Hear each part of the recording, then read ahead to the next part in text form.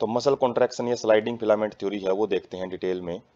Steps of muscle contraction muscle contraction के क्या क्या स्टेप होते हैं? Initiated by signal sent by central nervous system जब सेंट्रल नर्वस सिस्टम का सिग्नल है मसल्स के पास आता है किसके द्वारा? मोटर न्यूरॉन्स के द्वारा। मोटर न्यूरॉन क्या होती हैं? जो मसल्स को, जो सिग्नल को ब्रेन से लेके आती हैं। सेंस न्यूरॉन क्या होती हैं? जो सेंस रिसेप्टर से, जो ब्रेन के पास सिग्नल लेके जाती हैं। तो मोटर यूनिट क्या होती है? A motor neuron along with muscle fibre.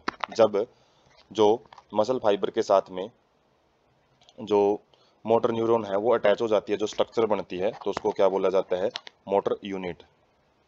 Neuromuscular junction और मोटर एंड प्लेट, क्या होता है? ये junction between motor neuron and sarcolemma.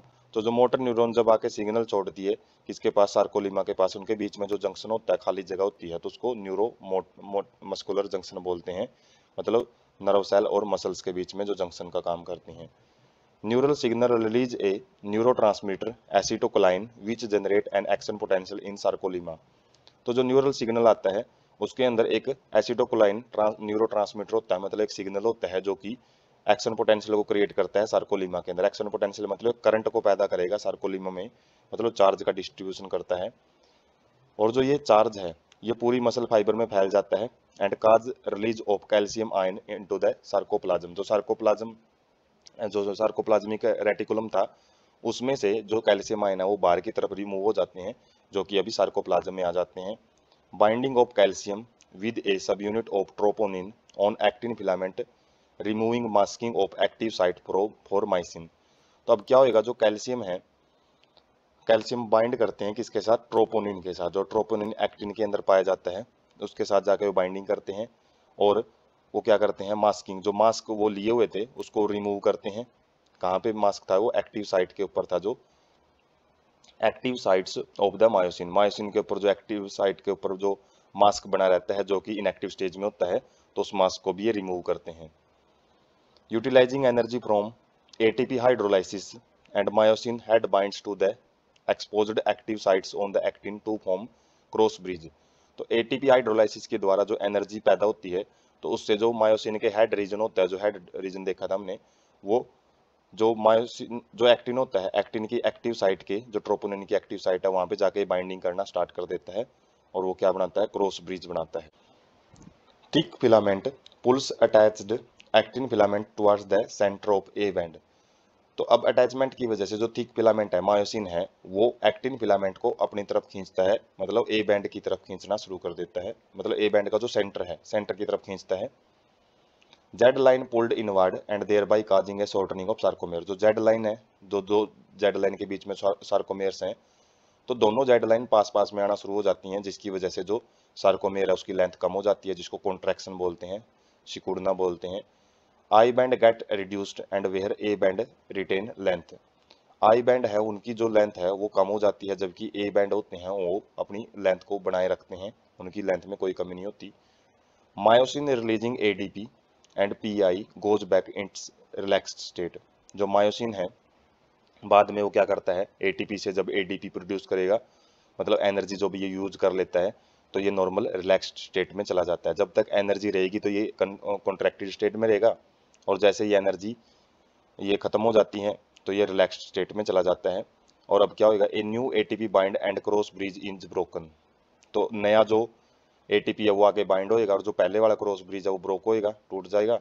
A T P is again hydrolysed by myosin head and cycle of the cross bridge formation and breakage is repeated तो A T P अब दोबारा से hydrolyse होएगा, दोबारा एनर्जी बनेगी, दोबारा जो myosin head है, वो क्या होएगा एक्टिन के ऊपर अटैच होएगा और साइकिल ऑफ़ क्रॉस ब्रिजिंग है, ये लगातार बढ़ते रहते हैं और टूटते रहते हैं। Process continue till the calcium ion are pumped back to the sarcoplasmic cisternae cisternae मतलब जो एक ट्यूब लाइक स्ट्रक्चर होती हैं सार्कोप्लाज्मिक रेटिकुलम में। तो जब तक कैल्शियम सार्कोप्लाज्म में रहेंगे, तब तक ये जो क्रॉस ब्रिजिंग बनने की जो प्रोसेस है, वो लगातार बनती रहेगी। मसल्स है, वो कॉन्ट्रैक्ट होती चली जाती हैं। लेकिन जैसे ही कैल्शियम आयन कम हो जाते हैं तो जो मसल्स हैं वो रिलैक्स स्टेट में आ जाती हैं। तो resulting in making of actin filament causing return of Z lines back to their original position relaxation तो जब ये कैल्शियम आयन वापस सार्कोप्लाज्मिक रेटिकुलम में चले जाते हैं, जहाँ से इनको छोड़ा गया था बाहर, किसकी वजह से, जो इनके पास एक्शन पोटेंशियल आया था, उसकी वजह से। तो ये क्या है? वापस वहाँ पे जाएँगे तो जिसकी वजह से रिलैक्सेशन स्टेट में अपनी ओरिजिनल पोजिशन में जो जेड लाइन है वो चली जाती है। मतलब जो उसका नॉर्मल साइज़ था, उसमें वो मेंटेन कर लेती है। तो हम जो डायग्राम से देखते हैं किस प्रकार से जो स्ट्रक्चर बोल रहे थे तो ये है। सबसे पहले यहाँ से देखते हैं। Myosin head splits ATP and become reoriented and energised तो क्या होएगा? जो मायोसिन है मायोसिन के जो हेड होते हैं, जो थिक फिलामेंट है तो उसके हेड रीजन में जो एटीपी है वो बाइंड होएगा और वो एडीपी और इनऑर्गेनिक फॉस्फेट बनाएगा, जिसकी वजह से क्या होएगा? जो हेड रीजन है, वो एक्टिन फिलामेंट के ऊपर जाके एक क्रॉस ब्रिज बनाता है। और ये क्रॉस ब्रिज की वजह से फिर क्या होएगा? Myosin head rotates towards the centre of the sarcomere power stroke तो जिसे क्या होएगा? जैसे यहाँ पे हम देख सकते हैं, जो मायोसिन है, वो सार्कोमेयर का सेंटर है। उसकी तरफ़ खिंचाव करता है और इस खिंचाव की वजह से जो एक्टिन फिलामेंट है, ये इसको अपनी तरफ़ खींचता है। और उसके बाद नेक्स्ट एटीपी आएगा।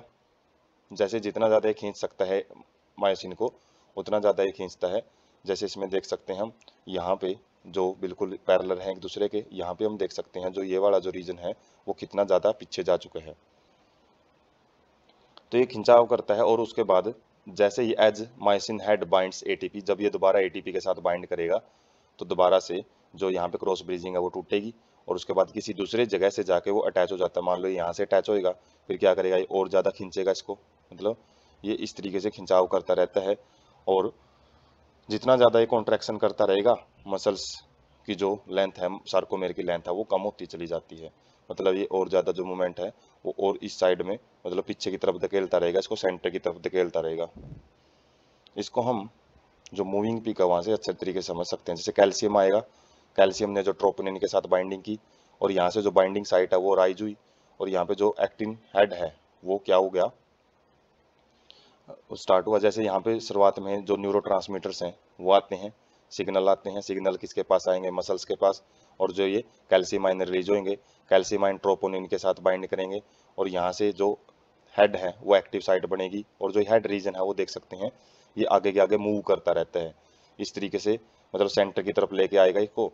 और जितना ज़्यादा सेंटर की तरफ़ लेके आता रहता है हेड रीजन उतना ही ज़्यादा मसल कॉन्ट्रैक्शन है वो शो होती रहती है। तो ये है एक्टिन ये मायोसिन फिलामेंट ऊपर वाला एक्टिन फिलामेंट है।